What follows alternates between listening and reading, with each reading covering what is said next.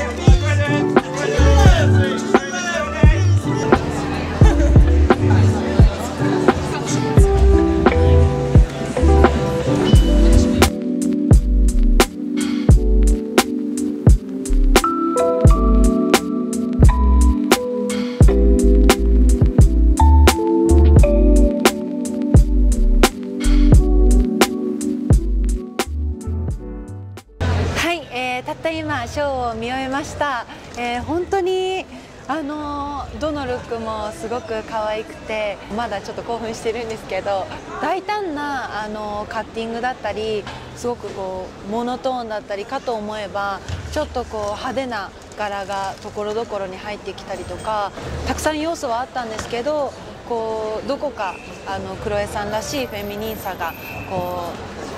全てに散りばめられていてサプライズ感もありつつザ・クロエみたいなものもしっかりあって個人的にはあのすごく今までの中でも好きなショーになりました、えー帰ってからもちょっとゆっくり一体一体見たいなと思います。